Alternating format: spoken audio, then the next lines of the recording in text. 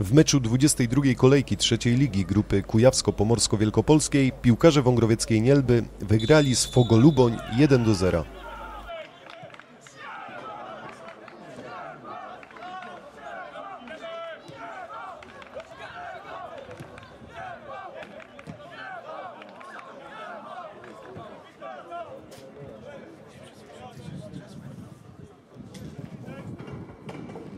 Pierwszą sytuację do zdobycia bramki na konto Nielbistów miał Błażej Nowak.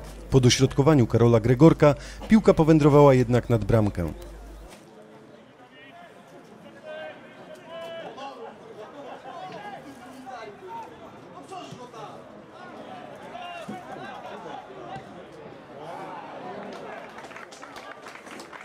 W szóstej minucie na bramkę Michała Pytkowskiego prawym skrzydłem ruszył Michał Fertikowski. Odpowiednią czujność wykazał jednak bramkarz żółto-czarnych i skutecznie wybronił ten strzał.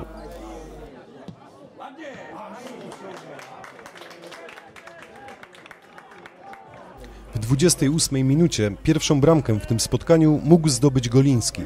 Futbolówka minęła jednak prawy słupek.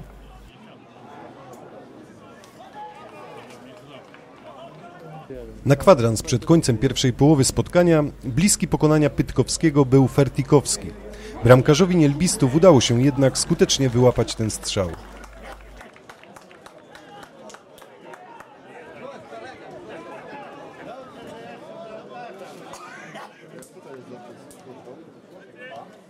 lewej?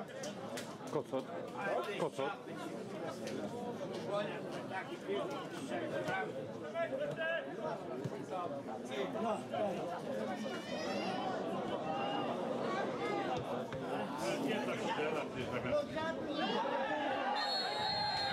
Minutę później pod bramką Maćkowskiego faulowany został Łukasz Spławski. Sędzia podyktował jedenastkę, której nie wykorzystał Goliński.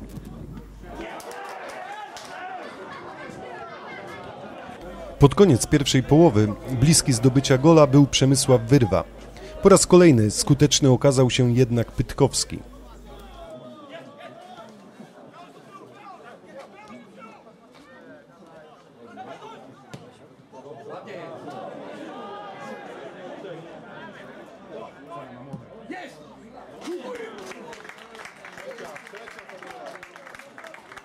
Na początku drugiej połowy Nowak w fenomenalny sposób minął obrońców z Lubonia i w sytuacji sam na sam pokonał Maćkowskiego, otwierając tym samym wynik spotkania.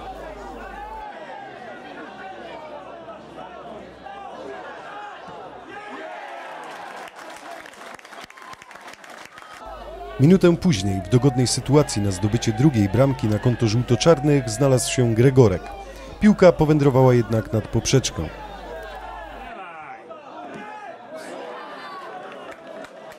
73 minucie na boisku pojawił się Adrian Pietrowski, który natychmiast wypracował sobie świetną okazję do zdobycia bramki. Niestety, piłka nie znalazła się w siatce Maćkowskiego. W dół. Brawo. Dawaj, dawaj, dawaj.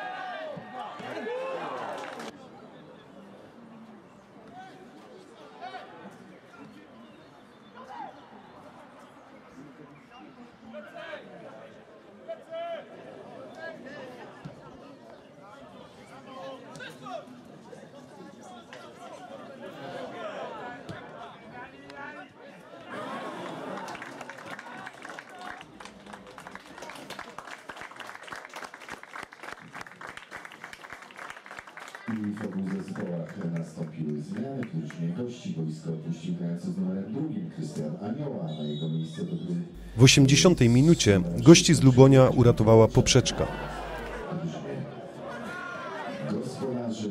Boisko opuścił Błażej Nowak, któremu dziękujemy za grę i szczególną bramkę w dzisiejszym spotkaniu. A na jego miejsce do gry z 13 szedł Patryk Sergiel. Za nim.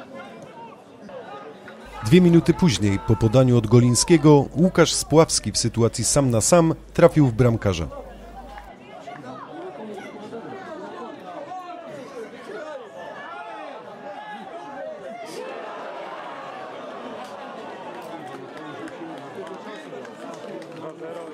Na trzy minuty przed końcem uderzał Pietrowski.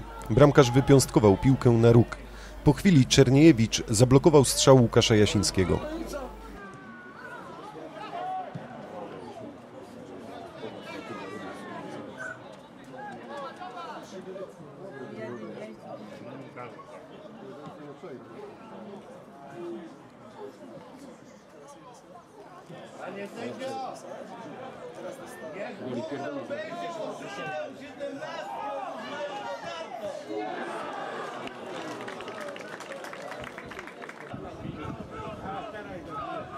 Dobry gol. Jest. Wybił z bramki.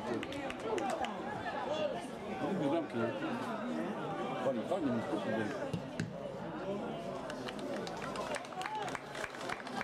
W końcówce meczu piłkarze z Lubonia mogli wyrównać wynik na 1 do 1. Dobre podanie otrzymał Szymon Izydorczyk, jednak uderzył niecelnie i nie zdobył wyrównującej bramki.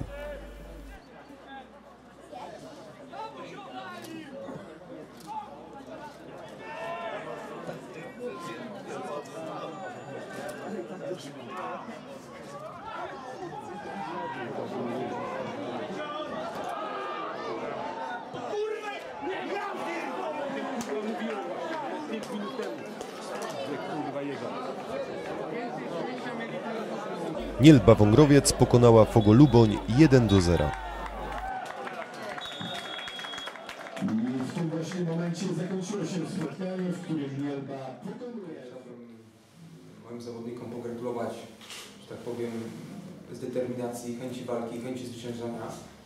Yy, tak jak trener mówił, widowisko mogło się podobać yy, i byliśmy lepsi o tą jedną bramkę, ale myślę, że jeszcze mieliśmy trochę sytuacji, w których, w których mogliśmy strzelić bramkę. Szczególnie ta sytuacja Łukasza Sławskiego na, na, na 2-0 mogła, mogła spokojnie wpaść. Trudno, nie, nie wpadła, ale i tak cieszymy się z, przede wszystkim z woli walki i charakteru drużyny. Dziękuję. No tak, ale trzeba się cieszyć z tego, co, co jest. Najważniejsze trzy punkty. Nie ma co się za długo cieszyć. W środę następny mecz. Wszystko. Mm, No w pierwszej połowie trochę chaotyczna była gra. No i trochę no, szkoda tego niewykorzystanego karnego, ale cały czas atakowaliśmy, nie załamaliśmy się tym i wygraliśmy. Nie? A w drugiej połowie już y, całkiem dominowaliśmy praktycznie, bo y, przeciwnik nie miał prawie akcji, no pod koniec jedną sytuację, no i ale my mieliśmy więcej, bo szkoda tych niewykorzystanych, bo mogliśmy z nawet pięć bramek strzelić. No i szczęście, że się nie zemściły te sytuacje i wygraliśmy.